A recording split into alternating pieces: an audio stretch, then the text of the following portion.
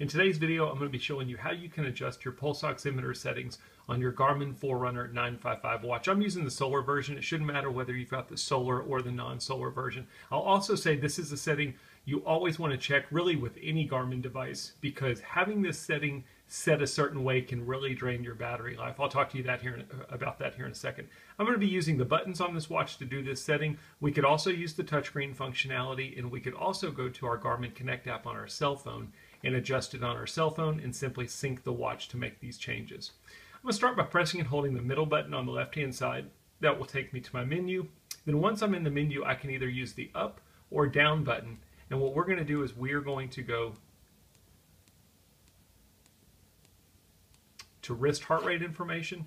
I'm going to press the upper right button to select that. Now there's a couple different ways we could get to this setting. We could have also gone through the pulse oximeter glance. Once we're under wrist heart rate settings, you're going to have some different settings under here. You've got auto, you've got while swimming, swimming you've got your abnormal heart rate, broadcast heart rate. I'm just in here pressing down, going through all these. The last option you've got is your pulse oximeter. If I press the upper right button to select that, we've got a few different options. On demand means it's not running. The only time I can use the pulse oximeter is if I go to the pulse oximeter glance and take a pulse oximeter reading uh, manually.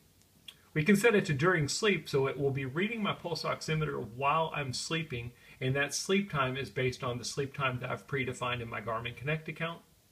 Or you can have it set to all day, which means all day long it'll be tracking your pulse oximeter. This is the setting that I would only recommend using if you've really got health issues and you want to track your pulse oximeter data all day long because having it set to all day will really drain the battery life on your Garmin device.